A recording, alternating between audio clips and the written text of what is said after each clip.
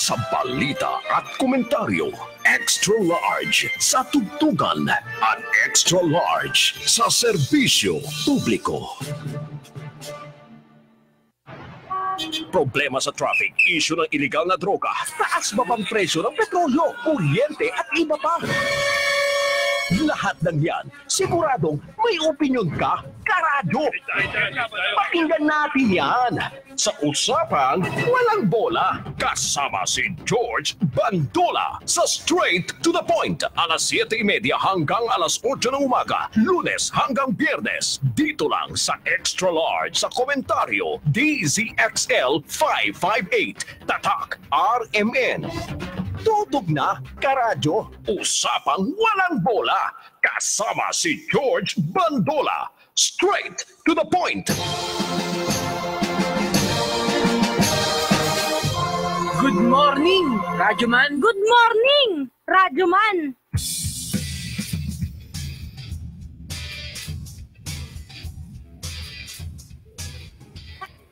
Bring the noise!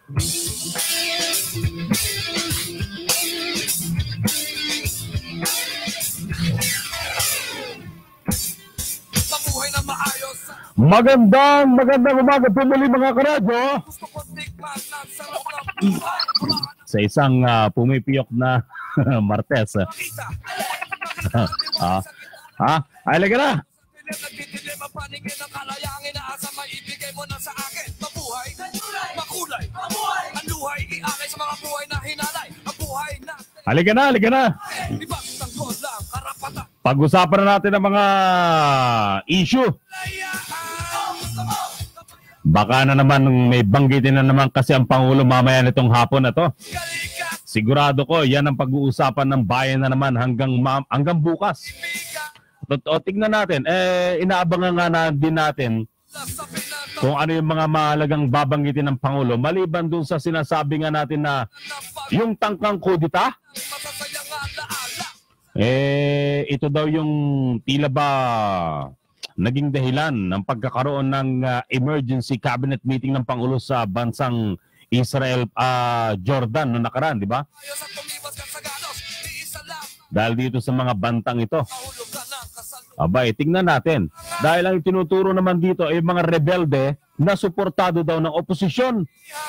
Yung mga opposition leaders naman, itinangging sangkot sila sa tangkang pagpapabagsak ng pamahalaan. Ibagan Ano po ang masasabi nyo dito mga karadyo, ha? Tawag na po kayo. Tawag na kayo bago magpasko. Ay, hindi. Isang daan at limang araw na lang kasi, o bago Pasko na. Tawag na sa 882-2371, 882-2374 at 882-2378. Pwede rin po kayong mag-iwan ng komento ninyo ha sa 0921-431-1044 at 0956-802-6425.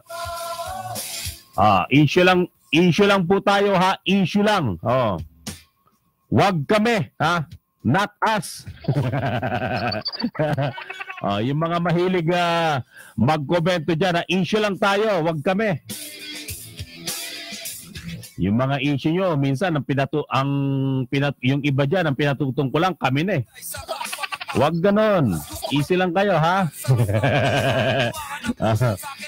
Baka lang kasi may gusto kayong marinig pero hindi nyo naririnig dito. Basta isang importante dito, lahat ng komento nyo, ina-accommodate dito. Karesti ng Caloocan. Nandiyan na ba? Ah, magandang umaga sa iyo, Karesti. Hello? Ah, good morning, Karesti. Uh, uh, magandang umaga po. Opo, good morning po. Nakikinig Opo. na sa pagpapalaga sa katotohanan Opo. turing na kabanalan at doon naman po sa mga nakikinig. Ang katotohanan may isang pangkaraniwan at baliwalang bagay, Mm. isang pangit na umaga sa kanila at sana hanggang hapon pangit pa rin ng kanilang mood. Mm. Kanilang Tarasi. papay, ano? Oh, ayusin mo lang yung signal mong konti, ha? Ay, ikot lang ng konti, ikot, ikot, para malinaw. Oh. Yan, yan. Ah, sige, ano? ah, ah. Ah, tungkol po doon sa ipapahayag sana ng Pangulo oo. Duterte mamayang hapon, Ayan, yan. sana naman hindi siya magdideklara ng isang evil uh, dictatorship in, Mhm. in disguise as martial law or revolutionary governance. Mm. Kasi po, ang nararapat na bago sa kanyang pamamahala ay yung pong pag-iral ng kasinungalingan, Oo. kawalang katarungan, at Mm. yung pong mga pagiging false accuser, katulad po na nangyayari sa kasalukuyan Mm. ngayon, na pinaparatangan po na baliwala yung uh, amnesty kay Senator Panilanes, Oo. samantalang yung nagbigay, si, si Pres- Presidente Oo. Aquino, buhay na buhay, oh, at sinasabi niya na yung valido. Hmm. So yun po higit pa sa proof beyond reasonable doubt Yan. at higit pa ho yun sa mga dokumentong aligasyon nila na di Oo, oh, ay oo, nawawala. Hintayin natin kasi meron din namang meron din namang isinampa na, 'di ba, sa Supreme Court. Ayun nga po, Oo. sana nga po ang Supreme Court natin yung maging tunay na husgado, hindi po sana husgado. Yan. Salamat po. Salamat po, Karesti.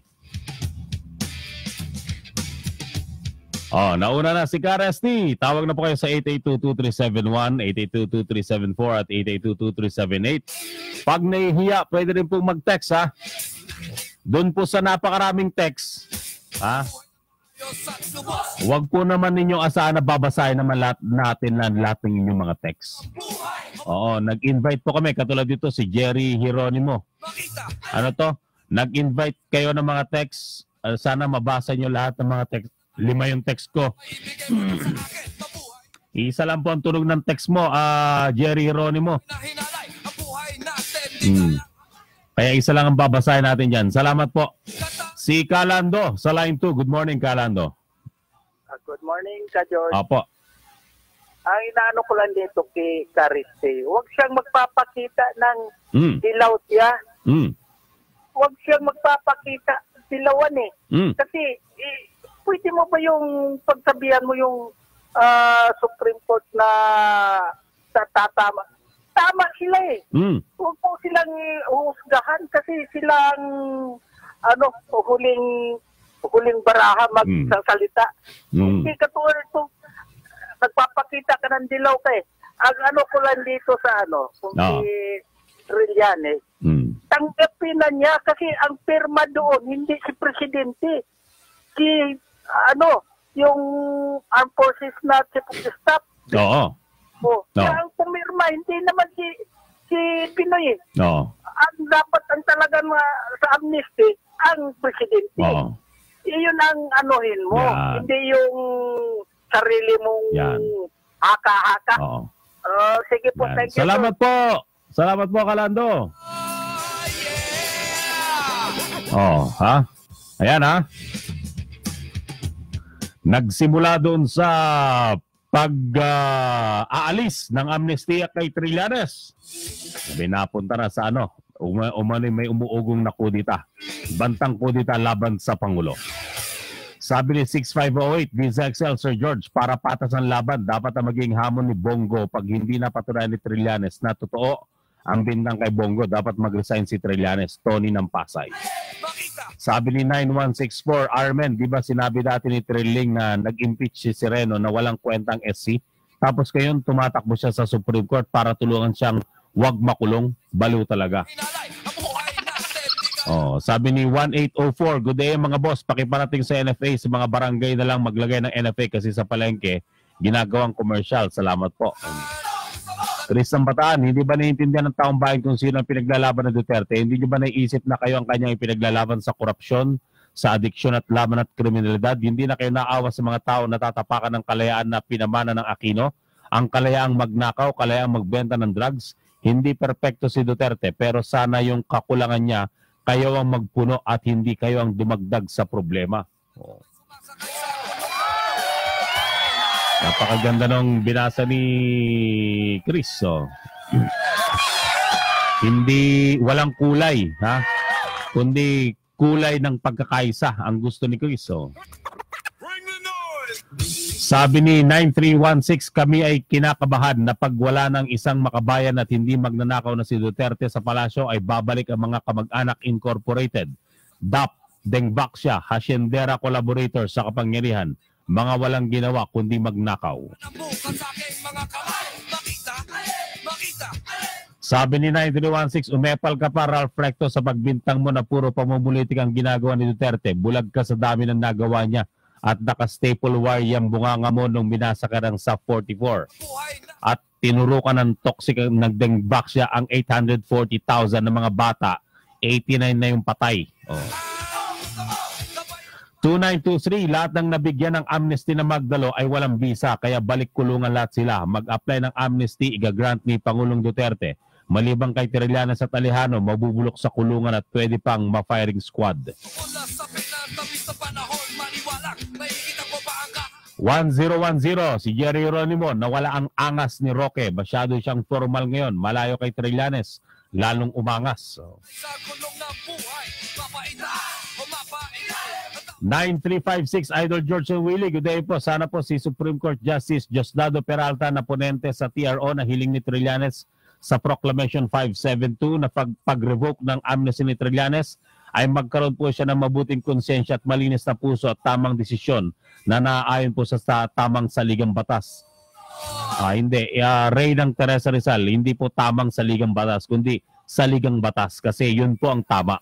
Yan. Sa buhay Yun na ang tama eh, yung saligang batas eh.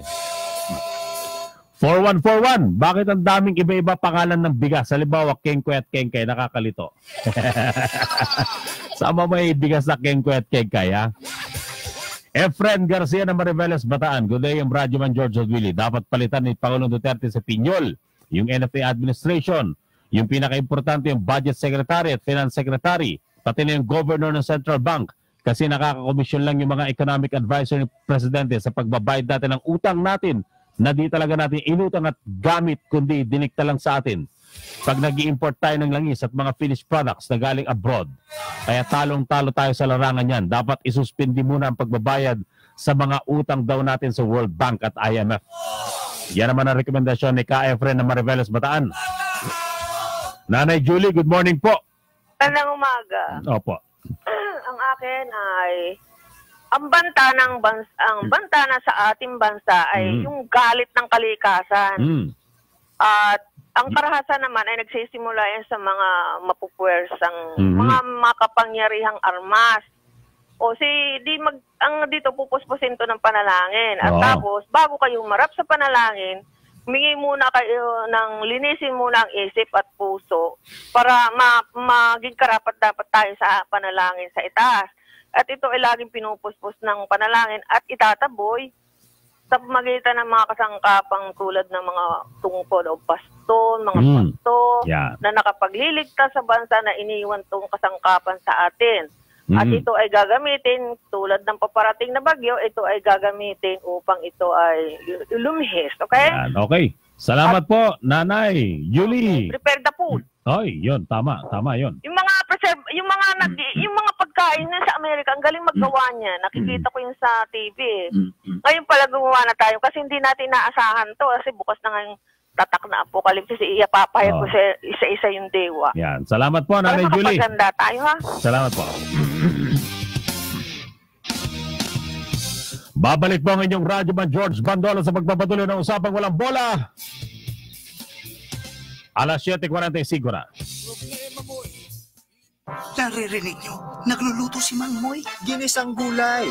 Lagyan natin ng asin para malasa. At ayon sa Kumainment number 7, iodized salt ang gagamitin ko. Stricto si Mang Moy kahit sa pantimpla. Siyempre, para may iodine. Mahusay ito sa mga buntis dahil tumutulong sa mental at physical development ng magiging sanggol nila. Iwas goiter din. Nag-iodized salt kaya ang nanay ko nung ipinagbubuntis ako. Ano sa palagay mo, Elmer? Sundin ang 10 Commandments para sa sigla at lakas ng buhay. Paalala ng National Nutrition Council ng DOH. Noy, overtime na naman tayo. Kaya mo pa? Yeah! Yakang-yakan ang masipag na buhay. Kasama mo ang Gin Kapitan. Sarap at hagod, sipag at sikap. Kayang-kaya. Gin Kapitan. Drink responsibly. Mga babae, pasakop kayo sa sari-sarili ninyong asawa tulad ng pagpapasakop ninyo sa Panginoon. Mga taga-Efeso, Kabanata 5, Talata 22 Ang mabuting balita ay hatid sa inyo ng MX3. Mag MX3 araw-araw para M Extraordinary. Paalala, bumili lamang ng MX3 products sa mga lehitimong drugstores nationwide. Iwasan ang bumili online liban kung sa MX3 website www.mx3.ph. Sa katunayan, may malaki ngang pakinabang sa relihiyon kung ang tao'y marunong masiyahan. Unang liham kay Timoteo, Kabanata 6, Talata 6. Ang mabuting balita ay hatid sa inyo ng MX3. Mag MX3 araw-araw para M-Extraordinary. Paalala, bumili lamang ng MX3 products sa mga lehitimong drugstores nationwide. Iwasan ang bumili online liban kung sa MX3 website www.mx3.ph. DZXL 558 RMN Manila Extra large sa balita't komentaryo Usapang walang bola kasama si George Bandola. Straight to the point. Narito pa ang napakarami yung mga text mga idol. Oh, tinatanong ni Mon Samson ng Manila Bulletin kung ano daw bang sasabihin ng Pangulong Duterte mamaya. Uh, ako man eh, hindi ko rin alam eh. oh, Kawit uh, Cavite mula kay Giorgio Marshall. Radyo man, good day po. Mahusay kapag ideklara ang revolt government dahil sa terrorism, korupsyon at droga. Walter ng Makati. Sabi niya, good morning po mga sir. Itong si Trillanes, wala nang sawa sa kakadakdak. Pati si Bongo, tinitira na niya ngayon kasi sure na sure na mananalo sa senatorial. Go Bongo, huwag kang paapekto kay Trililing at Miss Amy Marcos, kailangan kayo sa Senado para may magbantay kay Trillanes. Salamat po. Sniper 32 ng Philippine Army, yang kalida na yan, papansin lang sa next na eleksyon, senador na yan. Sani ng Santa Cruz, Manila, DCXL, magpresidente si Clarita Carlos, huwag niyang turuan si Pangulong Duterte anong dapat niyang sabihin. Hindi, hindi, hindi naman po, uh, ano, uh, uh, Mang Sani, kami actually nagtatanong kay Professor kung anong gustong uh, sabihin. Uh. Uh, salamat po, ha? Sabi ni 1178, uh, ah, medyo loko-loko daw si Soto na yan. Dapat wag nang iboto ang Soto na yan. Nagkanlong na uh, ng senador. Dapat na i-boycott daw ang kanyang show. yan ha. Yan. Aha. Danny, Good day, Willa George. Pakisabi kay Attorney James Jimenez, pera ng bayan nang nasayang sa pagpopromote ng shading at wag masyadong high blood kasi tanong niya ay ano raw ang nasayang.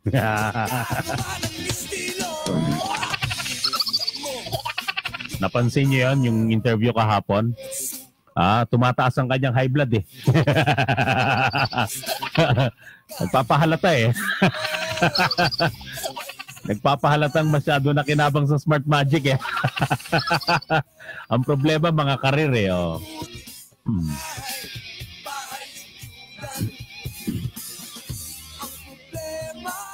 Sabi ni Boy Pablo, Hello DZXL, noon galit na galit sila sa diktador, yun pala silang umaasang diktador at kinukonsentidor, kaya nabigyan ng amnesty yung ulilang cowboy na si Trillanes.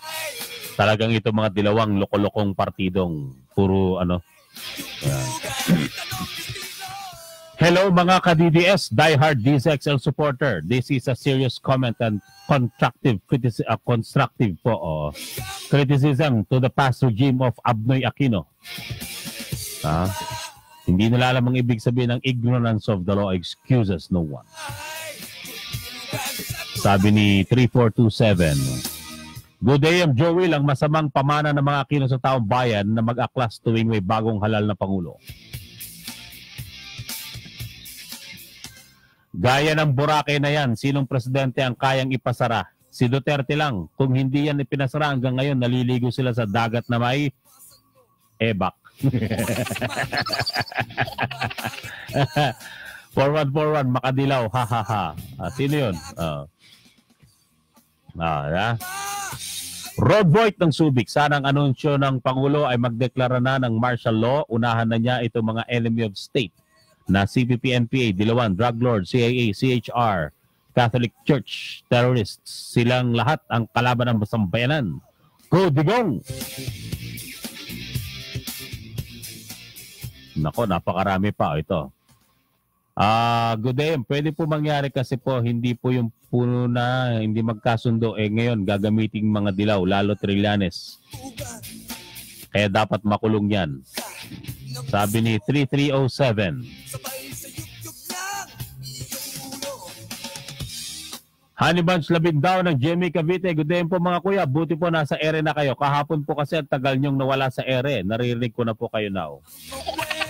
Ah, baka salamat uh, uh, Miss Honey Bunch Labindaw dyan sa ano, Jimmy Cavite. Ha?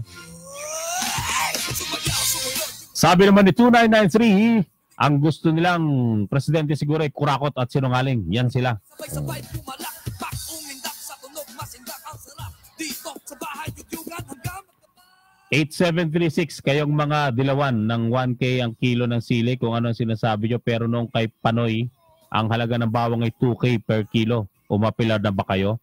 Mga, nako, nako. Ah, Sige, yumugyug ka, ang estilo. ah, isang refresh ha. Oo. Sabi naman ni Ray ng Teresa Rizal, oh, oy teka mga karadyo ha, hindi tayo hindi natin pinag-aaway-away ang mga ano dito, ha, mga commenters ha. Binabasa lang natin ang inyong mga komento. Pero kung meron kayong patutungkulan sana, eh mga ano na lang, mga issue-based na lang ha. Katulad ng ating pinag-uusapan ngayon. Eh, yung inaasahan nating ah, babanggitin ng Pangulo mamayang hapon sa kanyang ah, pakikipag-usap sa bayan, eh, maaring banggitin daw yung kanyang ah, tangkang kudita laban sa kanya. At ah, may report kasi, napakanaraw ito ng mga rebelde pero suportado ng mga nasa oposisyon. O, baka ito ang banggitin ng Pangulo. Pero ang, ang mga oposisyon naman, eh, itinatanggi na na silang may kinalaman dyan o may sangkot sa pagpapabagsak ng pamakalaan. Yung iba, hindi naniniwala. Yung iba naman, eh, kumbinsido na totoo nga. Kaya tinatanong po namin kayo mga karadyo, anong masasabi nyo dyan? Ha? Katulad dito, hindi ko nababasahin yung text mo, Ray ng Teresa Rizal. Ha? Eh, basta pareho kayo ni Calando, ha? Mag-Zanton plus na lang kayong pareho. Yan.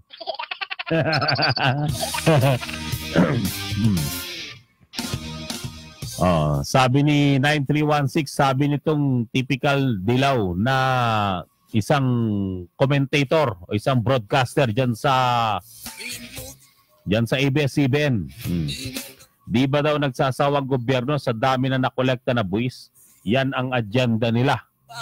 Focus sa negatibo. Ayaw pag-usapan ng libre na ang kolehiyo publiko. Wala nang buwis sa mga kumikita ng di lagpas 25,000 kada buwan. Actually, 22,000. Oo. Mula 22,000. Oh. Pinalaki ang coverage ng PhilHealth at SSS Pension. Malaki na ang pondo ng mga public at AFP Hospital at iba pa. Di tulad ng dilaw na collaborator na puro nakaw lang ang ginawa. Ah, binabanatan ni 9316 yung sinasabi ng isang broadcaster dyan sa ABS. Oh. Sabi ni 2018, good morning po mga idol. Sana po wag maghamon si Pangulong Duterte kay Trilling kasi pwede rin nakasama niya